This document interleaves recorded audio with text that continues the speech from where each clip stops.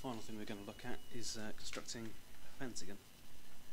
Got all sorts of uh, nice properties and interesting things about pentagons. They uh, involve the golden ratio and as a consequence they occur a lot in nature. Flowers and okra vegetable have been examples you can look up on Wikipedia. Okay, first I'm just going to draw a straight line from the top so somewhere down the bottom. Okay, we're going to get a compass out and we're going to bisect that line. Okay, got that move that down, bring it around, down there, put that across on there. Ching, move it over the other side, move that over there like that, Bring that down and round.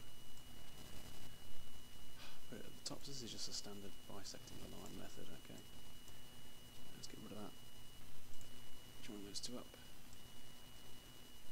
Okay, and we've uh, perpendicular bisector of the original line we drew, okay. Let's get the compass out now then. And we're going to drag that to the top. This is just to get us a, a nice circle with a cross in the middle. Fine, right.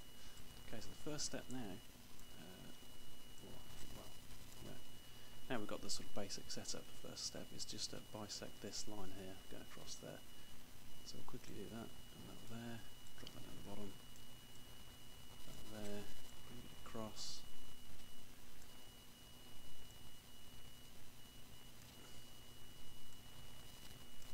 That to there.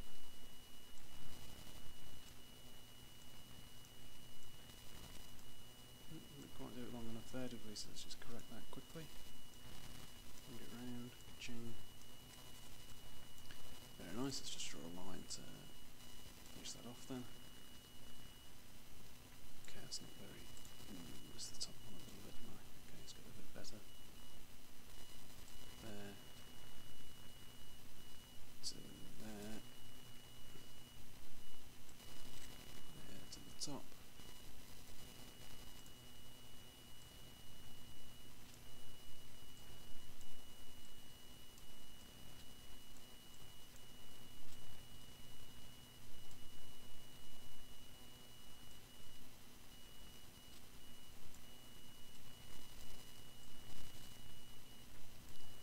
And now we've bisected that line and the angle we've made here, we're bisecting that now. So we that little process we just did there was a bisecting an angle.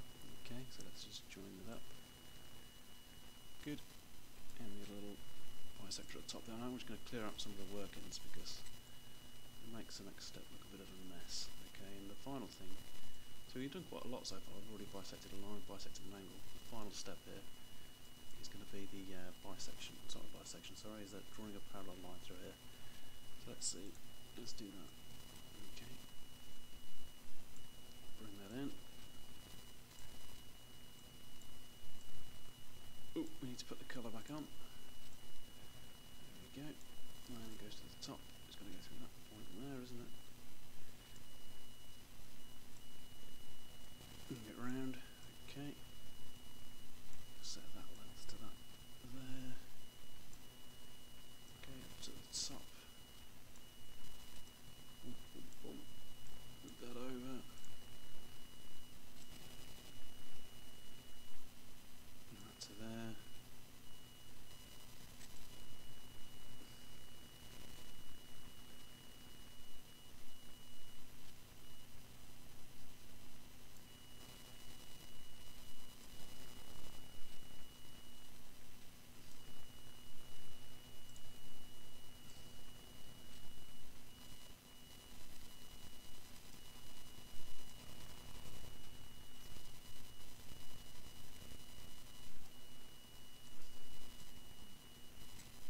Okay. We set that that length now is um,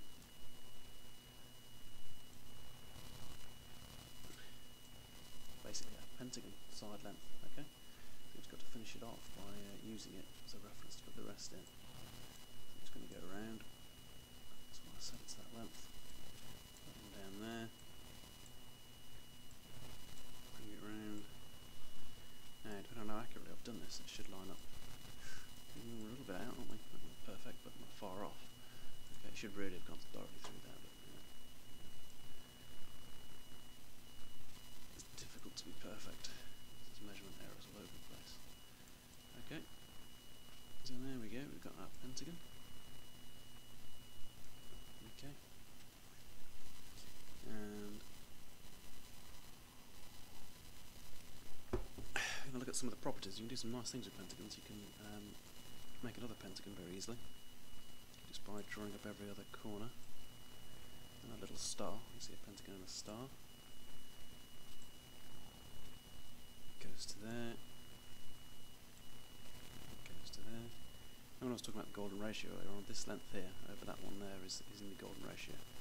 Okay, now the other thing we can do, which I really like, is the fact that you can make more pentagons very easily. Right, draw that to that and extend it out.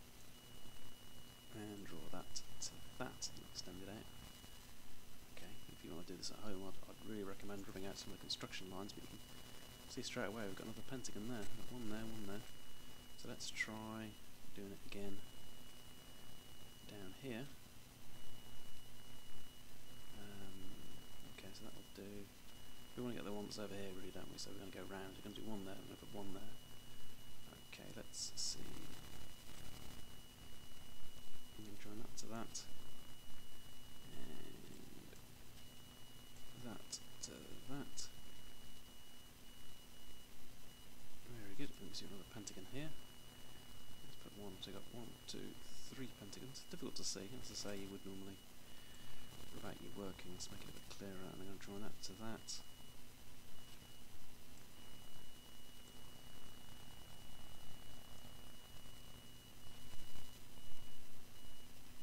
to that with the pentagon. Have a little look down here then, you've got to go to the other side.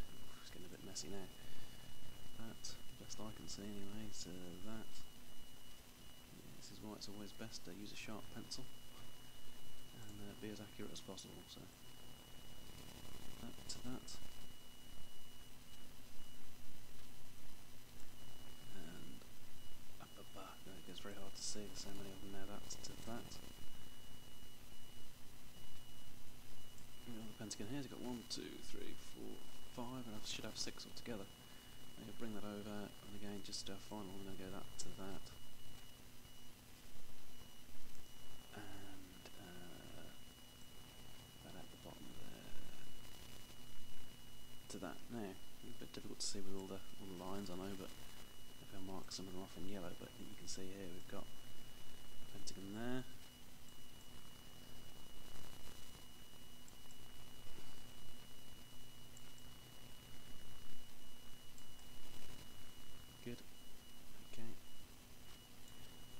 top here. And you can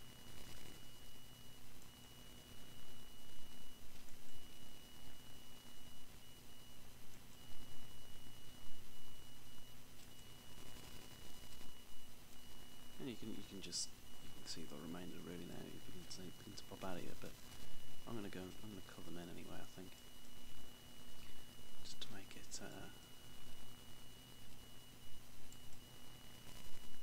abundantly obvious where they are. You can use this as part of the net for uh, to make up a dodecahedron. So if you want to be a bit creative with your maths and do some really nice platonic solid type shapes, then a platonic solid shape, then is a nice way to do it. Okay, keep going round. Jolly good.